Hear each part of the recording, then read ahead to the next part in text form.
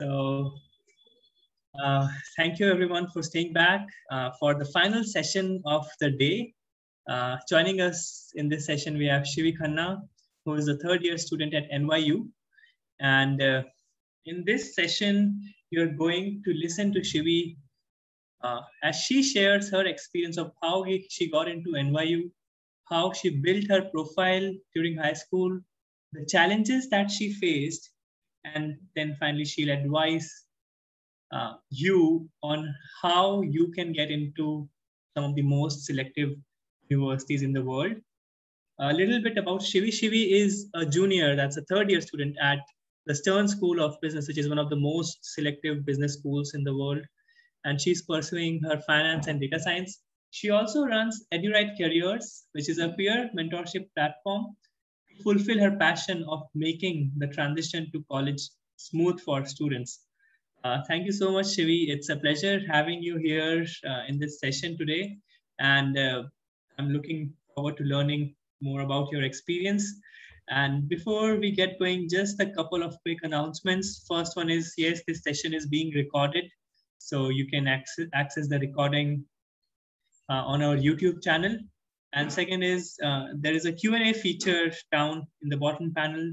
Uh, and if you have any specific questions, anything that you would like to know more or know about, just post the questions there and we'll take up towards the end of the session. With that, uh, welcome Shivi and uh, thank you for joining. And let's start off by you telling us a little bit about your um, uh, current uh, position and then I'll ask you more questions about your schooling and things like that. Yeah. Thank you so much, Devesh, for an amazing introduction. I mean, yeah, I don't think I have anything else to add to that introduction. I'm working in the hedge fund industry currently. I'm interning with a hedge fund. It's called Millennium Management. I think probably that was not there in the introduction, but yeah, getting so firstly, just to start off, that education abroad, specifically in the United States, it is a wealthy or I would say it is an expensive affair. But at the end of the day, the things that you learn, the way you become independent, is much more that we that the opportunities that we have in India. Unfortunately, I hope at some point we can have those opportunities in India as well. Because right when you enter college here, you start getting your on-campus jobs or you start looking for internships, even so, and you start earning a good amount of money so that doesn't only make you financially independent, it also gives you a sense of responsibility, a sense of how to behave in that corporate atmosphere, how to think big, or, you know, that gives you a start right when you're in college. And more than the money, it's also about the teamwork or the kind of things that you learn in a business atmosphere. For example, myself, I'm working in a hedge fund now with in my team, there are 15 other analysts who are professionals and have been in that industry for more than 5 10 15 years also. So the kind of experience that you earn from those things is much more valuable. And it adds to the kind of education that you get abroad. So yeah that would be my starting pitch. And moving on you can have any question. I'll be happy to answer any questions that you have. Superb, Shivi. So do share about your high school journey with us. Where did you go to high school? How was your high school trajectory, academics, and things like that? So, well, I uh, grew up in Surat, Gujarat, and I went to like from my elementary school to preschool to elementary school to high school. I went to the same school, Delhi Public School in Surat. Well, my high school experience was full of different experiences. I was always that proactive person. I did well at academics, and uh, uh, even in extra co-curriculars. In fact, when we were planning to apply to college, I used to go to people, mentors, ask them, you know, how does my resume look? Or when I actually started thinking about a resume, probably in grade end of grade 11 or grade 12, and they said, oh wow, you worked really well on your resume. And I used to just laugh and say that I never planned or worked on it. For me, at least, it was always that I was always interested in any opportunity that came my way. I never thought that, oh, this is something I'm interested in or this is something I'm not interested in. Definitely things that I was interested in, I jumped on them. But even something that I didn't know about or didn't have any experience in, I tried to at least do it to gain that experience. And that's what shaped my resume in a very well manner when I was in high school. And for me, at least, I always saw problems and I tried to bring out solutions for the same. And that worked really well in my favor because that way I initiated certain clubs, I initiated some organizations while it, while I was in high school, and that turned out to be a leadership aspect on my resume, and that worked really well. And my motivation to why I wanted to apply abroad was I think my mom, she always wanted to go and study abroad, but her family situations were not such that she could have pursued there. So she wanted to live her dream through me. And more than that, the kind of independence that I saw people got when they went there, the kind of responsibilities that they understood. I'd always been a responsible one since I was the eldest in my house, but also the notorious one. So I still like to keep the child in me alive, but at the same time, I like to keep a balance. So that was my high school experience. I ended up being the head girl for my school. The school was more than 5,000 students. So I was the head of the student council in the last year. So my high school journey was very, very good. But then when I transitioned to NYU, initially I got a fear of missing out. I will say that open and loud because there's no shame in that. Since although the school DPS was big enough, but I was always involved in everything. Like any event that happened, I was a part of it. Anything that happened at DPS, I took initiative and I went forward and participated. When I came to NYU, it was our welcome week. Welcome week is a big affair. And in that, you have a lot of events happening and, you know, ways you can meet people, meet different departments, parties, different things. I wanted to attend every event, but that's not possible because there were 10 events going on at the same time. That was the fear of missing out that I had. But then I soon overcame it because it was no more my high school with just 5,000 students, but it was a university with different colleges with probably more than 25,000 students, or probably more if I'm wrong in the number. So Wonderful. then I overcame that fear of missing out. And then I started channelizing my interests to see which is my priority, which event do I really want to go to. And yeah, that was the kind of transition I faced. That's such a fantastic piece of advice. I mean, at college, there are so many opportunities. You know, there are probably hundreds and hundreds of clubs at NYU, and there are so many events, so many things happening in parallel. And selecting what to do, what not to do is is is very important. I mean, you just have this much time, and you can only do so much in in your limited time, right? So that's really a, a great piece of advice. I mean, now a lot of time we hear people saying that participate, lead, you know, but what where to participate in and where to leave that that no one tells right that is something you have to figure out yourself that's okay. true Superb. So my next question to you is uh, if you could share with us about your college application journey. Uh, how did you work on your profile? How did you write your essays? And eventually, how did you make your college list? Uh, and how, how did that whole process work out for you? Let's look at the four years, grade 9, 10, 11, 12, because people, often you hear people saying that these are the four years that are really important for the application that you do abroad versus if in if it's only in India, it's usually just the final grades of your 12 board exams. Also in India, I think the 12 board exam grades just came out today.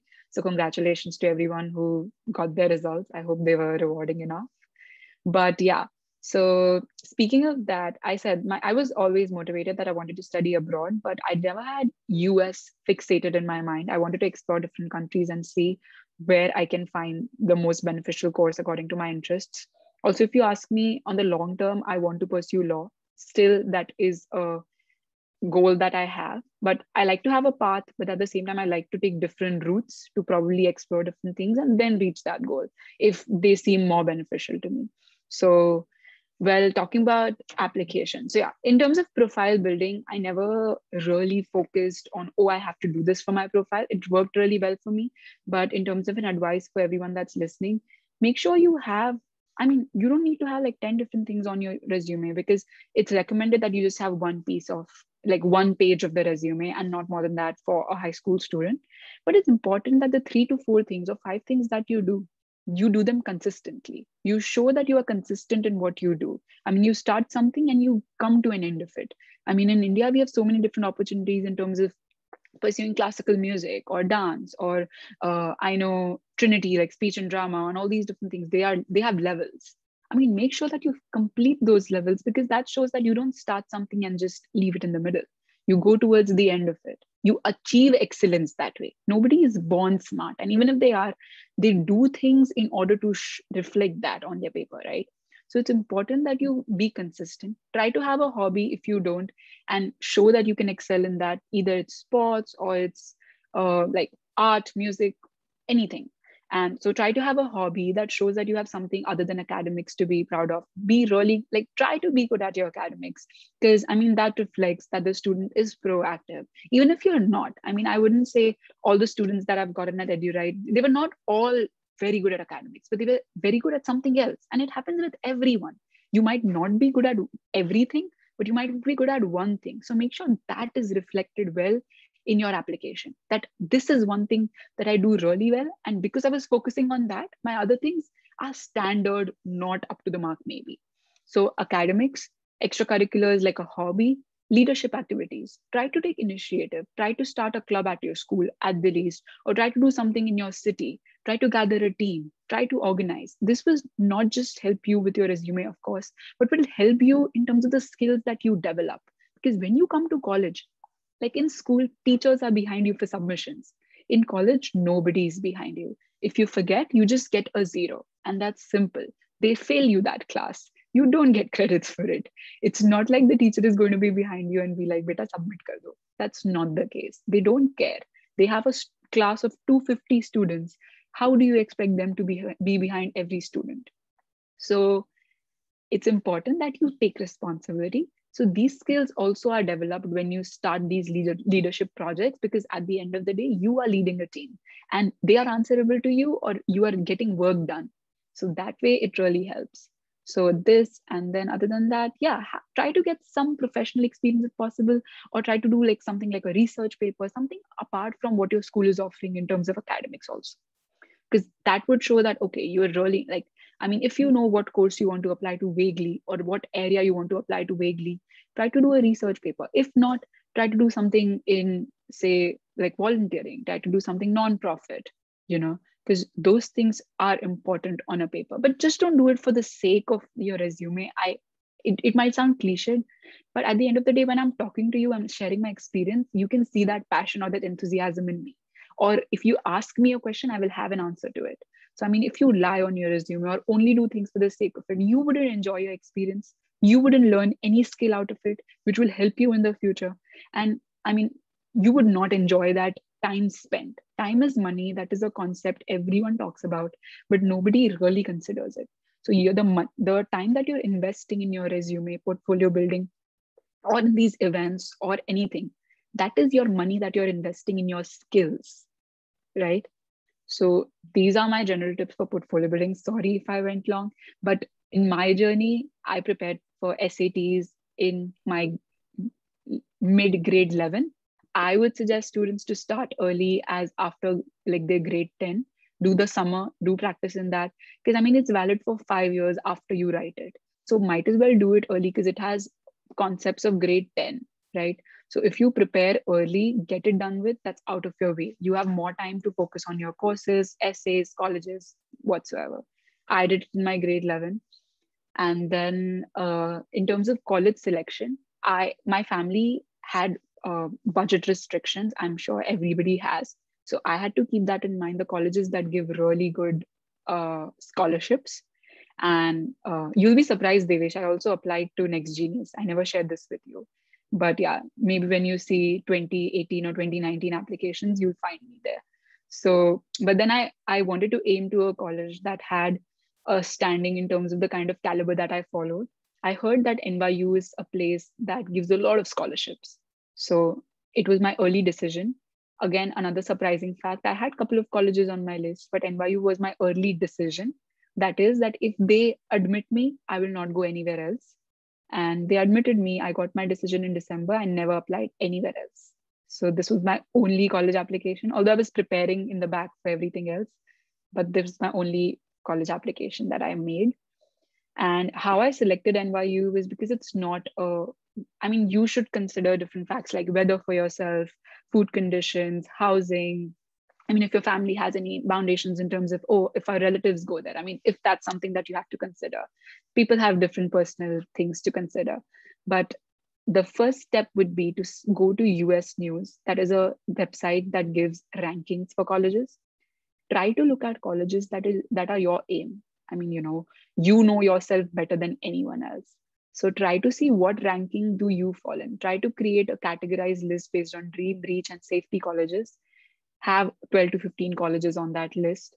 And based on that, yeah, I see the US News link in there.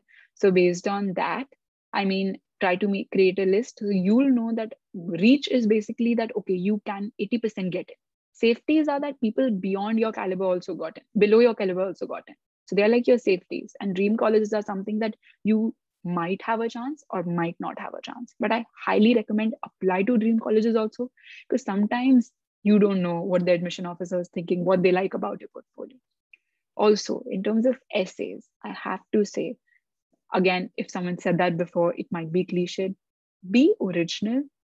Try to write things out of the box. In my essay to NYU, I compared myself to NYU. I said that I feel and I am as independent as NYU is, being amidst the New York City. It's the large, like, you know, the heart of the world or whatsoever but still, and it doesn't have a confined campus, but at the same time, it holds an identity. And I mean, I made NYU a first person in first person, and that's what I wrote on my essay. So I mean, you could be creative, you could write whatever you want to write. Some interviews that I give for my jobs, I they ask me what skills do I have, which are not there on the resume. I talk about how I am the eldest sibling. I've been a roommate with my siblings. I've been a roommate with other strangers and that gives you a lot of qualities. I mean that keeps you like how you have to be patient or how you have to manage your time. I mean these are the skills that are important for a job as such but nobody thinks about it that way. So i mean write small things like that because somebody should look at your paper when they are going through so many applications they should look at your application and name you or tag you or at least laugh or have some emotion because when later on they're going back through those applications they should see that paper and be like oh this is that girl who made nyu in first person or this is that girl who wrote about her rooming, rooming experience and nothing major i mean you know. So try to make your application unique and that cannot happen when you copy essays from the internet. So i mean refrain from that. How i went about it was i sat with my school teachers I brainstormed the ideas on those uh, questions. I wrote something by myself. I went back to them. They edited it for me. Then they gave it back to me. They gave suggestions. I again wrote on it. I entered the whatever feedback they had. And then so so that it's grammatically also right. Sometimes we as a student might not. So I mean, definitely take help on getting your essay edited, but not written by someone. And yeah, I mean, is there is there anything that i didn't answer for your question? Uh, no i think you answered that uh, fantastically. Thanks for sharing all that wonderful information. Sure. and i really enjoyed hearing that. So uh, i do have more questions for you uh, and that is what were some challenges that you faced actually? Like uh, you, you shared about how you crafted the whole thing your essays and uh, you know your profile. But but what were the challenges that you faced as you worked uh, Uh, on on your college application? Sure. So one challenge that i personally faced was that i was in a cbse school. So i had no idea how sats or acts for that matter worked. I was not informed or, or did not have those resources at our school to understand how early i could start the preparation. So when i started in grade 11 I mean, I initially did not do well on SATs. Math was really good. English was something that was a major issue because it was different than how we are, like, you know, IB schools teach English in that way. So that was one setback that I faced. My SAT score was not as excellent as my school scores were. If I was like a 98% in my school scores, I did not fall in that category on the SATs. That was one strategic decision that we had to take in terms of applying to colleges so NYU at that time was the only or only few colleges that took either SATs or school scores, not both. Now there are many because of the COVID pandemic and everything. There are several colleges, including the UCs, who've do not need both SATs and school scores. They're accepting either or. So it becomes, it gives students like me much more options. I did not have many options there. So that was one thing how I had to select my colleges. And NYU was also on the top of the list because they had the either policy. So it's one setback that I faced, but I mean, I overcame it in terms of strategizing how I want to apply to which college. Second issue most of the students might face is a writer's block. I mean, when you're writing so many essays, there's a common app essay to write, there is a personal NYU essay to write, or a personal college essay to write. If you're applying to multiple countries, you have other countries' portals, everything else. So several essays, right? You might have that writer's block and sometimes feel एक ऐसे को दूसरे में लगा के लिख देते हैं सिर्फ कॉलेज का नाम चेंज कर देंगे I'm being very honest here, it doesn't work.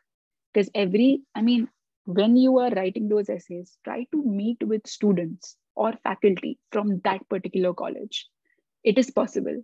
Fight, try to find them on LinkedIn or that college website, reach out to them, ask them you want to speak to them. Try to ask them things that they know about the college, which is not there on any website in the world. And I'm sure they'll give you many things. Write those things in your essays. Because that's what surprises me when i read an essay. Wow how does this student know about this? And you need to mention that you spoke to an alumni spoke to a current student spoke to a faculty member and came to know about this. That shows how interested you are in that college right? So that interest that passion is sometimes more important than the grades that you submit. So in your essays that's another suggestion so yeah writer's block is normal leave that for a day start working on something else get back to it the other day and you will not face that writer's block. You will get creative. You'll know, ask people, brainstorm. Asking will never harm you. Talk to as many people as you can. I mean, it might sound stupid to you to waste so many so much time talking to people, but it's not a waste. Even to get jobs, we have to talk to people in order to, I mean, all companies have internal referral systems, which they do not explicitly talk about. But if you talk to someone, express your interest, they might offer to refer you that's what gets you interviews with 200,000 applications. How do you think that 2,000 are selected? They do not go through every resume. That's not like how colleges work, of course. But I'm just giving you an example that it might not hurt to talk to people. When somebody reads, oh, you spoke to this particular professor, they might be like, wow, this person has really reached out to people and got to know certain situations. So, I mean, yeah, that was the setback in terms of the SAT and the writer's block that I faced but I soon overcame it by talking to people, and SAT was strategically planning your college applications. Superb. That's that's really a fantastic piece of advice. Yeah, I mean, of course, uh, reach out to people and talk to them uh, because, uh, and that's not just only because they can provide you references, but they will they can provide you so much valuable information. Uh, and you know that can be an eye opener for you these conversations just like i'm sure all of you when you're listen, listening to shivi i'm sure you you learned a lot about how to approach your college applications okay so shivi my next question to you is uh, in hindsight uh, can you think of some mistakes that you could have avoided um when i think of mistakes that i could have avoided i believe probably I could, I'm being here honest again, uh, budget constraints or SAT, ACT issues, whatever, I never applied to colleges above NYU. I mean, I didn't apply to Ivies because people told me that they do not give scholarships to international students, which is not true. I mean, I see colleges giving ample amount of scholarships if they want you in that college. So, I mean, I didn't keep, NYU is a very good school. Finances at Stern is top two. So, I mean, no regrets as such but if i would have wanted the kind of resume or the kind of academics that i had i would would could have applied to colleges better than nyu also so that's one thing that and two this is an interesting story when i came to nyu i didn't apply to stern i came for an economics and mathematics combined major at college of arts and sciences at nyu so and it was not because i mean i was for me, I always thought business is something that cannot be taught at school. It can only be learned through experience. And so I was like, oh, and I can I compared the business degree there to the BBA that we get in India, which was again short-sightedness on my end, or I mean, so I sometimes have a little regret in that that if i would have applied because when you come to the call i wasted a couple of classes or credits as we would say on classes for math and economics and then i transferred to stern. But i mean i'm still going to complete my degree in time but i would have gotten more opportunity to do another courses also at stern apart from my degree if i would have directly applied or directly entered stern. So that is one thing that brainstorm really well different things that you can do or want to do do not sell yourself short in terms of the colleges that you select. You want safeties but you want some risks also. So take dreams right? Do not sell yourself short. And secondly try to again talk to people and see what courses offer what value. Because if i would have spoken to more people at stern and understood what their experiences were maybe i would have applied to stern directly. Thirdly uh, i would say in addition yeah I mean, people say that CBSE schools are as equal to IB schools. And I mean, I agree. I'm still, I still landed here. I'm doing well. But if you are really sure you want to go abroad, I would suggest transferring to an IB school near high school. Why? Just because there are some credits that are transferred when you go to college. So I mean, for to complete my degree, I need to achieve 128 credits here at NYU. If out of that even six credits are transferred, I'm high in the game right? I will complete 128 early, but at the same time, I'll get more opportunity to do other courses that might be just a hobby or an interest. So if you're really sure you want to go abroad, I mean, and you do not have any reason to stay back, I if I would have gotten that opportunity, I would still stay at DPS because I always dreamt of becoming the head girl. I worked hard towards it, and I really wanted to see myself there. So I would have not transferred still if I knew this also.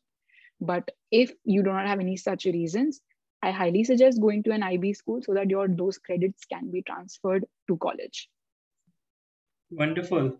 Shivi, uh, let's change gears and uh, do tell us a little bit about your work at EduRight and what's the vision behind it.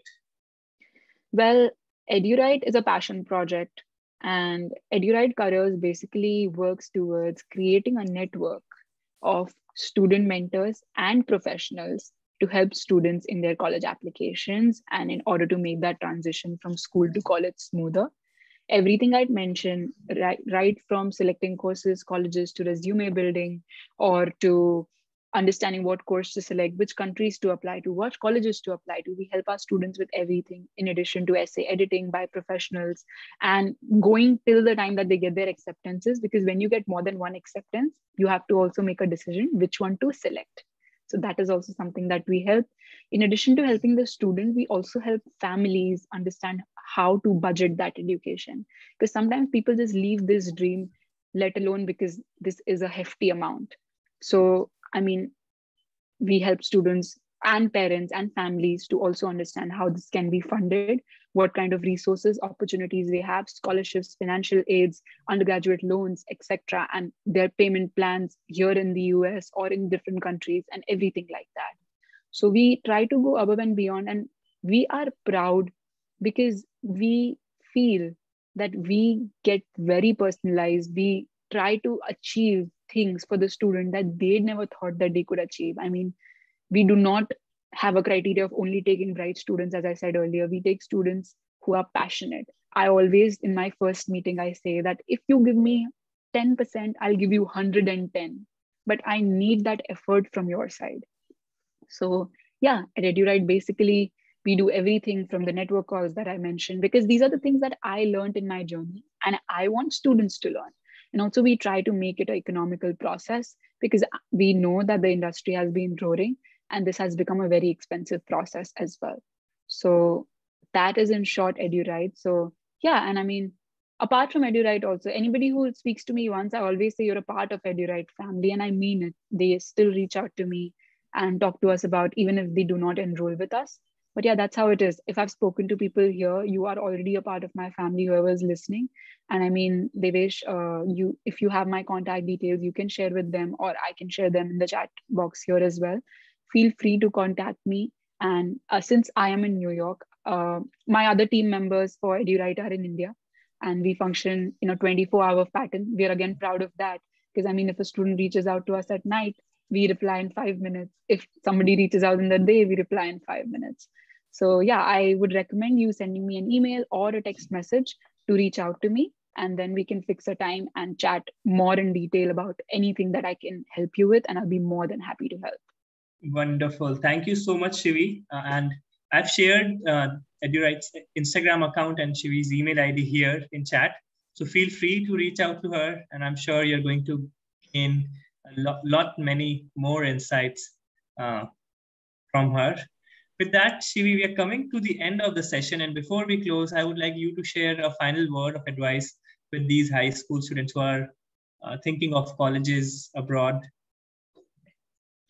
I would just say you can think of 100 reasons why not to go. But even if you have one reason that you really want to go, I mean, you can make all those other 100 reasons work out. As I said, I had several constraints, not one. I mean, now that you're talking to me and I'm, now i'm talking to you in a fashion that I'm, since i'm already here but i really feel proud in terms of my family helping me out there being that support system and encouraging me to go. And i mean leaving your home coming so far it's not easy. Some days you'll feel alone. Some days you'll want to go back home. You'll feel homesick. You'll want home food whatever. But i mean the experiences that i've nurtured so far i'm looking forward to the other two years third year and the fourth year at college also. But i mean i feel very confident i would say that. And i just feel confident independent and more motivated to do things which are available because if we do not leave our nests we will not be able to explore what is there in the sky right so it's important that you leave or to try to leave that nest, still stay rooted and always try to achieve excellence. I mean, running behind referrals the other time that Devesh mentioned, or running behind money, running behind anything else, all these things will be attracted towards you if you run behind excellence and more than excellence, hard work. I mean, try to just work towards things, give time. And I think yeah, you will you will do really well. If you guys are here at this time when probably you should be having dinner or whatever, I know that you guys are already passionate.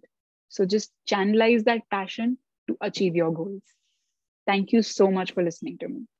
Fantastic. That's so inspiring, Shivi. And I'm sure the students who get to work with you more closely uh, get much more uh, dose of that inspiration and are much more hardworking and uh, gain a lot of that attitude.